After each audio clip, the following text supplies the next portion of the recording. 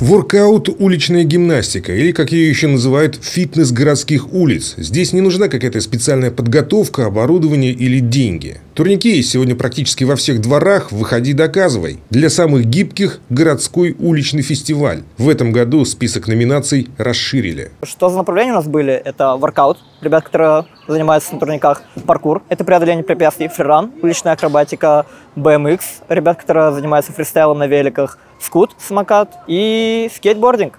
Все ребята давно занимаются спортом, бывают даже новички, которые к нам приходят, и стараемся пропагандировать активный образ жизни. 13. 14. 15. На знакомом всем нам с детства турнике побеждает Дмитрий Олькин с результатом 40 повторений, но по его собственным словам это далеко не предел. Говорит, обязывали делать паузу после каждого раза, это немного смущало. Дома я тренируюсь, у меня там никто не считает, и, в принципе, были результаты и получше. Но тут уже после 30 раза было очень жестко.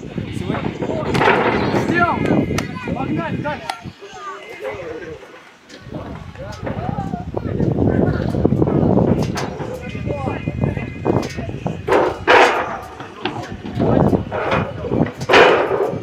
Для самых сильных и гибких вторая дисциплина воркаута – фристайлер. Помимо силовой подготовки, здесь оценивали еще и точность исполнения элементов. Кто-то выкладывался сразу, кто-то свои коронки приберегал к финишу. В общем, в дисциплине шла еще и тактическая борьба. Больше всего тяжело исполнять было статические элементы, потому что я раньше их не делал. Больше всего я по динамике.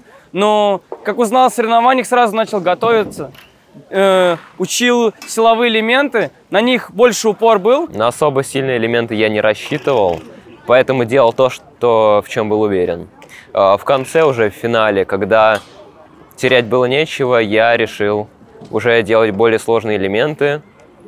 И, в общем, получилось, как получилось. Самый сложный для меня элемент сегодня был петля Корбут, задняя через брусья и королевский соскок. Площадки фестиваля облюбовали более сотни уличных гимнастов и акробатов. На воркаут заявилось больше всего участников, но рядом свои эффектные программы показывали скейтбордисты и спортсмены на велосипедах. Самое любопытное, что воркаут – вид спорта не статичный. Здесь нет строгих правил, выразить себя можно в любом ключе. Это своеобразная вольная программа, в которую можно и нужно всегда вносить новые и придуманные элементы.